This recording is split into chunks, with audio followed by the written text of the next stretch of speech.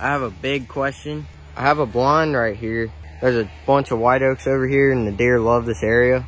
But as you can probably hear, there is a bunch of machinery going on and it's the next door neighbor's land. If you have any input on this, any tips of how, I don't know, if, if this even affects the deer, I'm sure it does. Any, any input that you have on this, that would be great.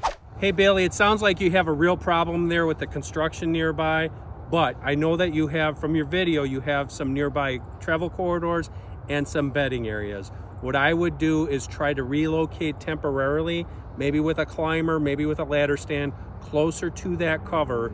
That construction noise, which was loud, is gonna go away eventually, and those deer are gonna start moving through and hopefully hitting those white oaks again. Otherwise, you know how they're traveling.